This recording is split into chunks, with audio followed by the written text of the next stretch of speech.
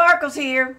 This one is for the Republicans, the Democrats, the liberals, and or the Martians, and it's on infrastructure and not my old bones.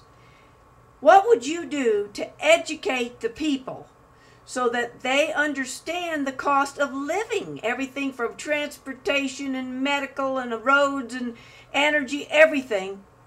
And how what would you do to put more money into all the parts of our society that is falling apart because it didn't get enough money?